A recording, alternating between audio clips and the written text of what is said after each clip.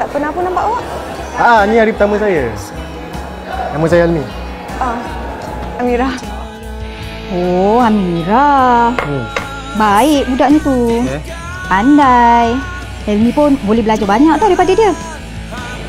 Aku rasa dia ni comel lah. Kau rasa, rasa dia ada teman wanita tak? Engkau tu terlalu serius dan garang. Itu yang tak ada orang nak dapat dengan kau walaupun kau baik.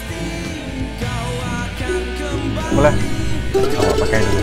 Tadi saya tak faham kenapa awak selalu uh, macam ni. Serius memanjam muka ketat.